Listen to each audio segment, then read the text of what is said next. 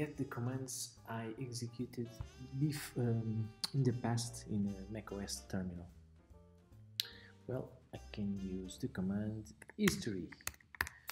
The command history will list all the commands I ran on this shell in the past. So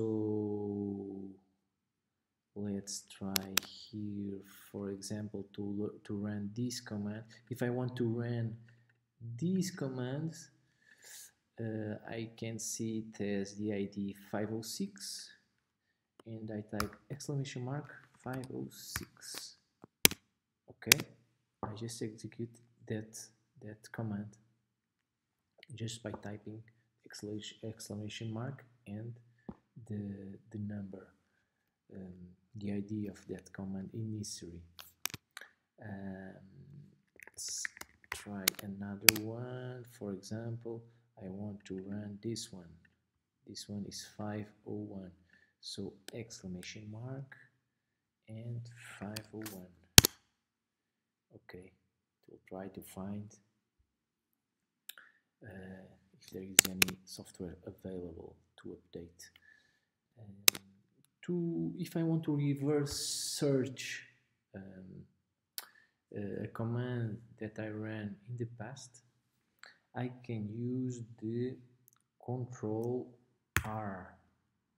Okay, as you can see, it appears here reverse dash i dash search.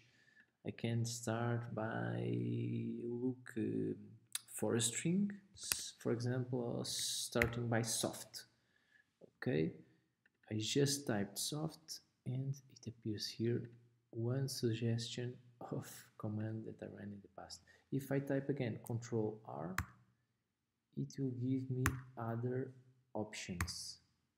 As you can see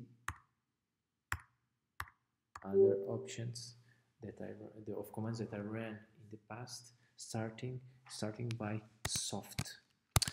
If I want if I want to look by ls for example ls space okay now there are these sugge suggestions uh, of commands that I ran in the past starting by ls